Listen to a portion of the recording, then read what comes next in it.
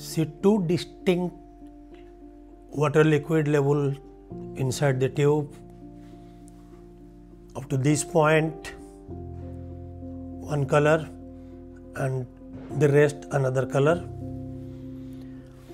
Now i have got another egg with me and i drop it inside so that we will see what happens to that particular egg.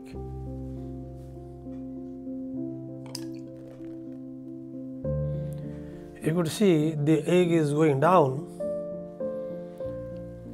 and going down, and we will wait after some time.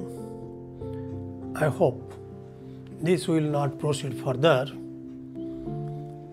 because the density is such that it is lighter than that and it will be above the lower liquid and below the upper liquid.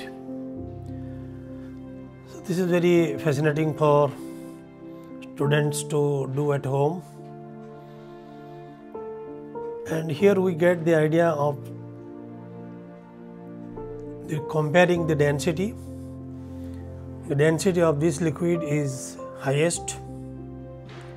The density of the fluid inside the egg is in between this and this.